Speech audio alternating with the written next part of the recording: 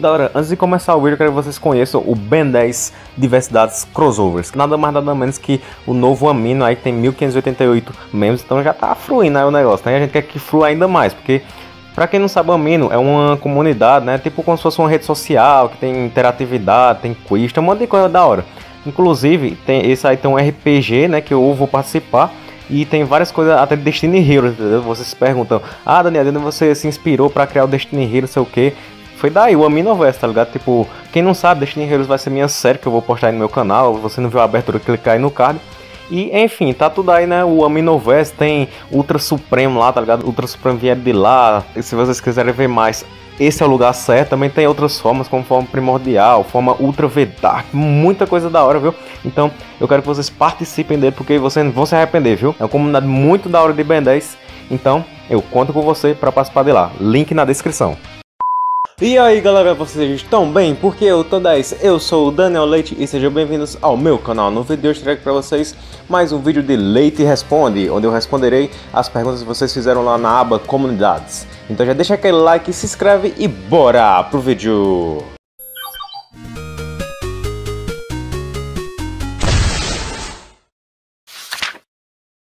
A pergunta do João Lucas, qual o seu Pokémon favorito? Cara, desde que eu era criança, eu gostava do Deox. Eu sempre gostei do Deox porque o filme dele foi um dos primeiros filmes de Pokémon que eu assisti e também que eu gostei do conceito dele. Dele ter várias formas, né? Uma forma de defesa, outra forma de ataque, assim vai. Eu gosto desse conceito. Né? Ele é um Pokémon espacial, o tipo dele é um dos tipos que eu mais gosto, que é o tipo psíquico, entendeu? Eu gosto do visual dele ali e tal, entendeu? Aí é por isso que ele é meu, meu Pokémon favorito. Pergunta da Pati Patrícia: qual o seu alien preferido? Galera, eu já falei isso aqui muitas vezes no meu canal, mas como tem inscrito novo, né? Falando novo aqui. É o XLR8. Desde que eu era criança, né? Eu sempre gostei dele porque ele é um alien velocista. E eu gosto de heróis velocistas. Tanto que meu herói preferido da DC é o Flash. Tá entendendo? Aí você pode dizer, ah, Daniel, mas tem um arrajado, tem um acelerado, que são aliens velocistas. Sim, mas o conceito do arrajado é que ele é um alien voador que é rápido, entendeu? Não é esse o conceito que eu curto, né? Porque se for botar o Raja para correr na terra, ele não vai correr, né? Não vai correr com super velocidade. O acelerado é porque ele, ele, vamos dizer que ele é inspirado, ele foi baseado aí no XLR8, entendeu? Como se fosse uma cópia. Eu não gostei mais dele do, do que do XLR8. O XLR8 marcou mais. Não desmerecendo o acelerado, mas é porque o XLR8, né? Tá aqui no meu coraçãozinho. Pergunta do Furioso BR. Se o Mega Olhos tivesse aparecido no Supremacia, como ele usaria o olho gigante no peito se tem um símbolo do Super Omnitrix. E o fantasmático, o olho dele passaria por trás do Super Omnitrix? Assim, galera. Tem uma explicação, eu vou usar como base o fantasmático de Omniverse. Eu sei que estão falando supremacia, mas mesmo assim serve para a gente entender como é que funcionaria. Tipo assim, foi mostrado em Omniverse que quando o Fantasmático vai mostrar os tentáculos dele, ele sai de lugares aleatórios. Mesmo que o Omnitrix fica ali centralizado no peito dele, os tentáculos saem de lugares aleatórios, entendeu? Coisa que no clássico, por exemplo, no clássico, no Alien Force não acontecia. Tipo, ficava no peito o símbolo do Omnitrix e aí ele e os tentáculos também saem lá do peito e muita gente perguntava onde é que o Omnitrix fica, se ele sai, ele fica armazenado em algum lugar entendeu? Aí é isso, tá ligado? E com mega olhos, é, muita gente diria que o olho ficaria em cima do Omnitrix ou embaixo. E tem até uma fanart que mostra que é uma coisa que eu acredito que aconteceria, que o olho ficaria translúcido e o Omnitrix ali dentro, entendeu? Se o Ben precisasse apertar no símbolo, aí o olho ele ia se desativar para o Ben poder apertar no símbolo do Omnitrix, entendeu? Era assim que funcionaria. Pergunta do Nerd Clash Lucas. Na explosão que o Vilgax fez em Omniverse que dizimou todos os bens, a fusão do Alien X e o Atômico não deveria impedir aquilo porque o Alien X já recriou o universo e o Atômico derrotou o Enon Supremo do Albedo? Não, não é assim que funciona. Atômico X ele é uma fusão muito cabulosa assim, porque né, o cara conseguiu dar um peteleca aí que o, fez o Vilgax voar para longe o Derek já falou que ele pode desintegrar as coisas em átomo, ele pode teletransportar muitas coisas. Só que assim, ele não é mais forte que o Alien X, entendeu? Ele não tem um conceito de onipotente. Só porque o Alien X recriou o universo, não significa que o atômico X tem que ser onipotente. Uma coisa não tem nada a ver com a outra. Porque o atômico X é simplesmente uma fusão em que o, é o atômico com poderes boostados aí do Alien X, entendeu? Um atômico com poderes cósmicos, né? Porque tipo, não tem a parte bélicos e serena. Se tivesse, aí ele poderia ter lá a semonipotência do Alien X, que é assim, tá ligado? Tipo, o, o Atômico X, o conceito dele é esse. É não ter a parte bélicos e serena pra não encher o saco, tá ligado? Mas mesmo assim tem um, tem um poderzinho ali do Alien X pra ajudar, entendeu? Pra dar uma força maior. Só que ele não é mais poderoso que o Alien X. Tanto que se o Ben 10 tivesse numa situação ali encurralado mesmo, precisasse do Alien X, ele ia virar o Alien X, né? Que ia ser mais poderoso que o Atômico X. Pergunta do Unfins. Como vai? Cara, eu vou indo. Só não vou voltando. Pergunta do Nat.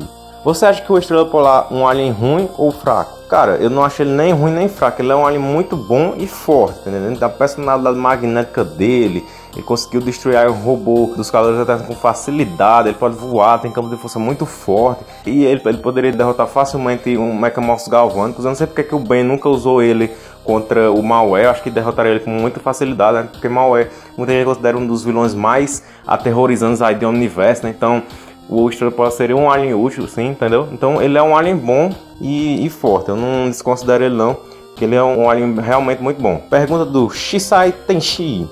Em sua opinião, qual o momento mais impactante de todas as séries de Ben 10? O momento mais impactante de Ben 10 foi descobrir que o Osmosiano não é alienígena. Que foi tudo por causa do Procto lá, o plano do Procto colocou na mente do Vomax que o Devin foi parceiro dele para ele ir lá e acolher o Kevin.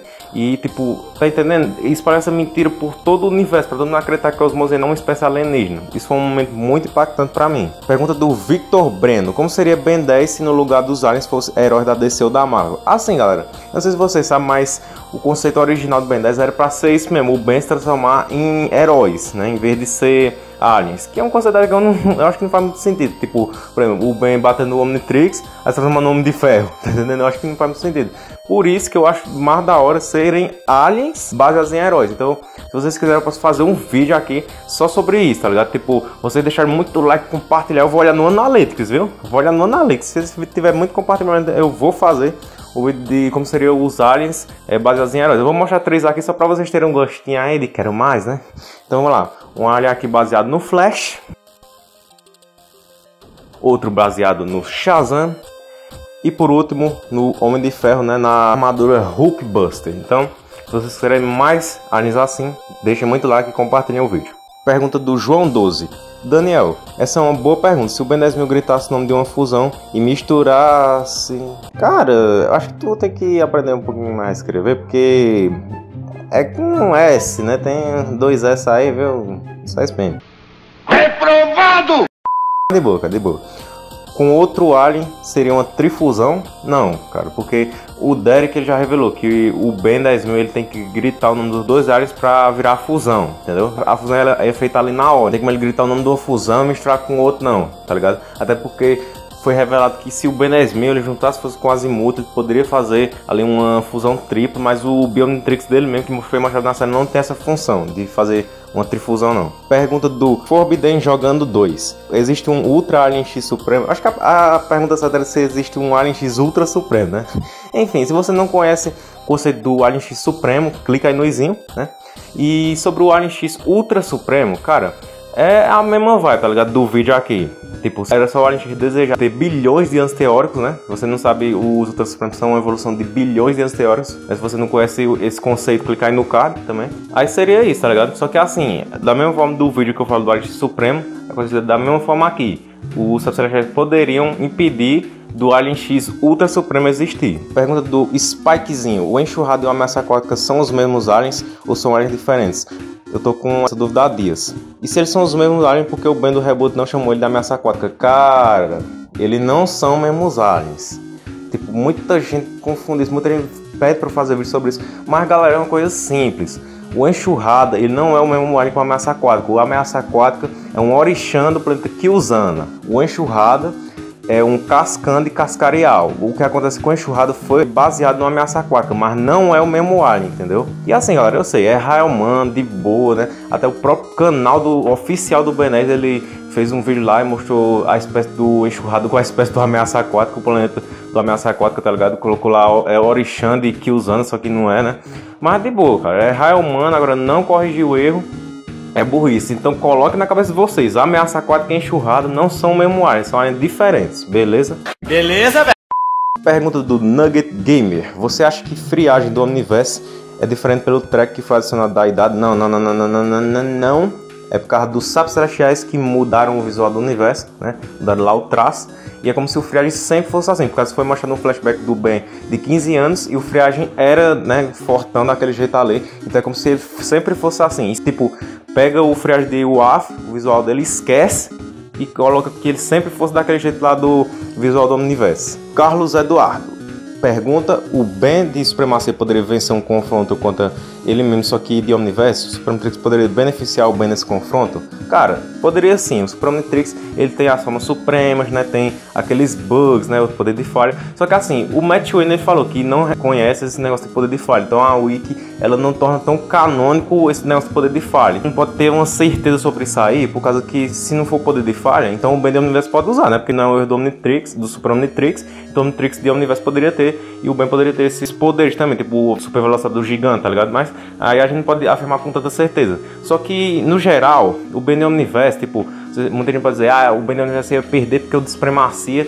ele tem o Supremo. Mas galera, na própria série foi mostrado que o Ben de Omniverse ele teve uma boa performance contra o Supremo do Albedo, né? Ele mesmo disse, talvez eu nem precise do Supremo, né? Ele usou o atômico que derrotou lá dois Supremos, tá ligado? O próprio Quatro Braços ele tava é, segurando ali a força com o Macacaran Supremo do. Eu sei que o Macacaran Supremo do Albedo foi mais forte ali, né? Porque, até porque é uma evolução de milhões de anos teóricos, né?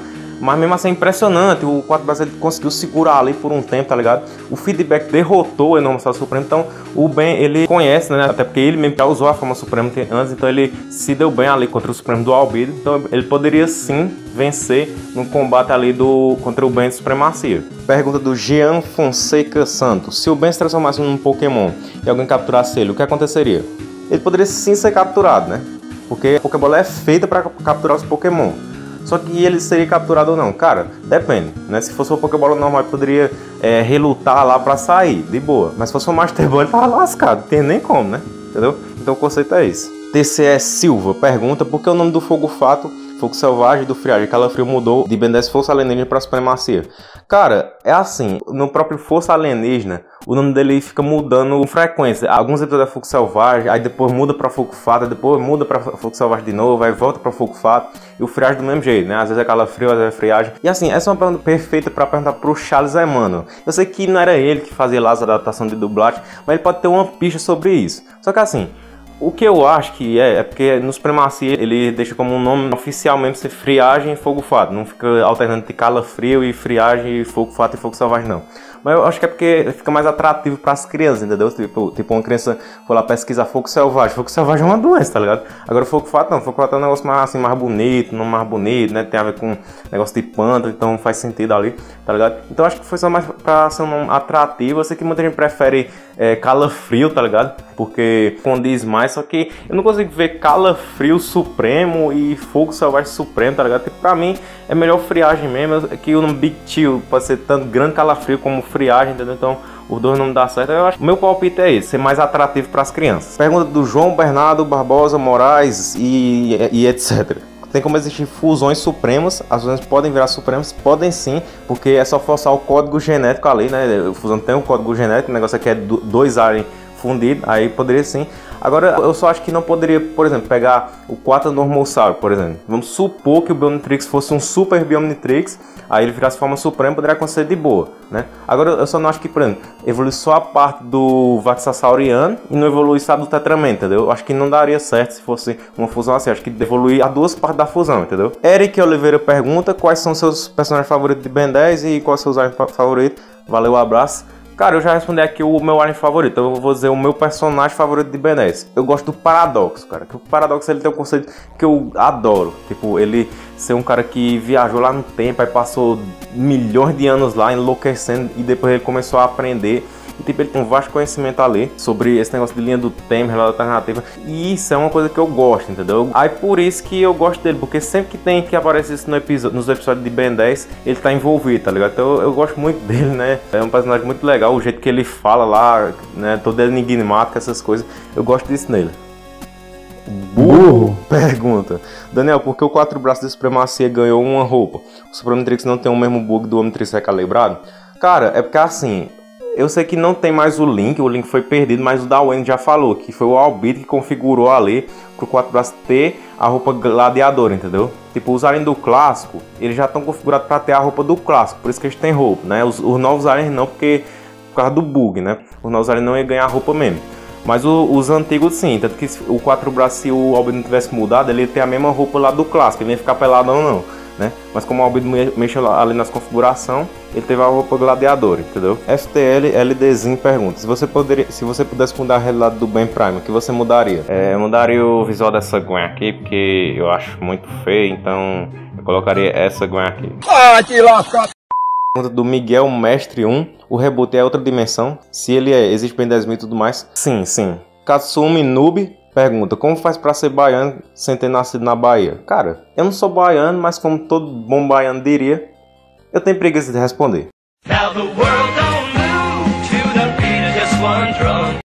JVSS14 pergunta o que houve com os Supremos Sapiens, eles foram mortos pelo Kyber e os soberanos são supremos naturais ou apenas uma subespécie? Cara, assim, Soberano Supremo, Agregor Supremo, Kevin Supremo, eles não são Supremo, é só o título, entendeu? Pra dizer, oh meu Deus, matou todo mundo aí mesmo, eu sou cabulosão, entendeu? É só pra ter o título mesmo, não é que eles são formas supremas, milhões de anos teóricos, sei o que, não, não é, tem nada a ver com isso aí não, tá ligado? É só o título mesmo. Pergunta do Ben 10, você acha que a Unis poderia ter sido mais aproveitada no Supremacia? Um grande abraço. Cara, o Matt ele criou uma história aí que a Eunice, ela fosse um relacionamento ali do bem, entendeu? Que ela não soubesse o que ela é, se ela é um osmosiano igual o Kevin, não sabe o que ela é, e se tornasse um personagem mais recorrente. E eu gostei desse conceito, entendeu? Eu acho que poderia sim ter trazido isso pra série. Pergunta da Lívia Maria Jesus dos Santos e etc. Se a Noditas não tem DNA, como passou pra Gwen a ter os poderes de transformar? Salve para Davi, salve para Davi Almeidas. E bom, anoditas não têm DNA, portanto qualquer filho de um anodita que um anodita produza com outra espécie será relacionado a esse anodita por meio da, de parentesco mas biologicamente a prole permanecerá 100% pura para a espécie de outro pai. Isso também significa que o Omnitrix não pode transformar seu usuário em um anodita, pois não há DNA para fazer uma amostra de DNA. No entanto, os anoditas têm algo análogo ao material genético. Pergunta do Jean Fonseca Santos de novo. o bem poderia se transformar num Mosfosiano. Eu acho que é Osmosiano que ele, que ele escreveu, né? Osmosiano. Não. Porque, segundo o universo, Osmosiano é um humano mutante e o Ben não pode se transformar em mutante. Pergunta do Christian do Christian Boaventura. O Mazenda do bem pode ser mais inteligente do que o Azimuth? E ele pode criar um Matrix também? Não, porque o Mazenda ele tem a personalidade do bem, que tipo atrapalha. Tipo, é assim, o Mazenda fala uma coisa inteligente e a parte do bem ele não entende. Isso faz com que ele não seja mais inteligente que o Azimuth. Também que o Azimuth ele teve todo o estudo ali, tá ligado? O próprio Duncan falou que é o pacto do azimuth, o negócio da paz, ele quer a paz ali, ele sabe os segredos do cosmos, ao ponto de que o Albert foi eufórico ao receber a inteligência do azimuth, entendeu? Então é uma coisa que o Mazenda não teria simplesmente é, só porque sim, tá ligado? Biologicamente. É uma coisa que ele teria que estudar, se esforçar para ter. Agora sim, eu acho que fisicamente o Mazenda poderia vencer numa luta assim, numa luta corpo a corpo. Mas o não é muito de lutar não. Agora, se fosse assim, só que mesmo assim ele ganharia do, do Azimuth porque, por ser o ápice da espécie. Só que se fosse ali, ah, uma batalha de construção, quem constrói mais rápido? Azimuth dava um pau no Maceta mesmo sendo o ápice, entendeu? Pergunta do Luiz 240. O Omnitrix pode usar DNA de Evos? Tipo, o Ben consegue transformar uma forma com os mesmos poderes que o Rex? No! Então, esse foi o vídeo. Espero que vocês tenham gostado. gostado. Deixa aquele like, se inscreva no canal, ativa o sininho, falou e tchau!